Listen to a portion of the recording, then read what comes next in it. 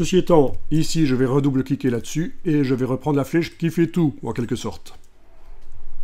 Avec le gizmo qui montre tout. Et qui est parfois un peu complexe à manipuler. Et je continue. Vous allez appliquer un matériau de base différent sur le couvercle et sur la tasse. Donc euh, euh, la tasse c'est déjà fait, le matériau. Euh, et ici on va mettre, je vais mettre moi un matériau doré brillant.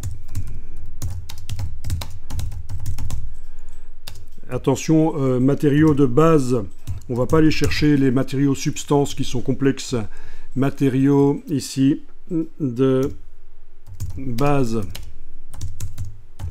pas substance. Voilà. Donc, pour ça, vous devez sélectionner ben, le couvercle cette fois-ci. Voilà, couvercle. Et dans les matériaux ici, je vais moi aller chercher le brillant, le laiton par exemple. Voilà.